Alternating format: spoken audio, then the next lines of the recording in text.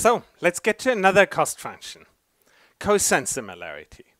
Let us say we want two word embeddings to be close. Maybe we have a reason to believe that the words mean something similar, for example, because they're being used by the same scientist or in the same document.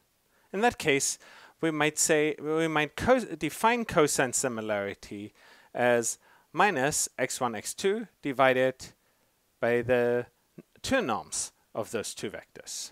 Why is it called cosine similarity? Well, x, uh, the scalar product of x1 and x2 is the norm of x1 times the norm of x2 times the cosine of the angle between them.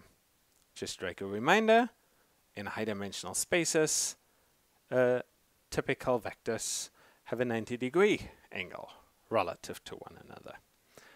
Um, in any case, um, we want them to be similar.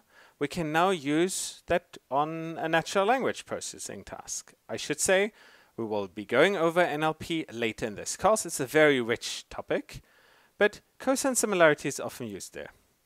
Uh, so the idea is I want two words that have similar meaning to be close to one another in some embedding space, and words that have different meaning to be far away from one another.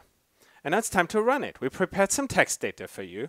We want related words to be cosine similar. We want unrelated words to be cosine dissimilar. Now, learn the embeddings based on cosine similarity.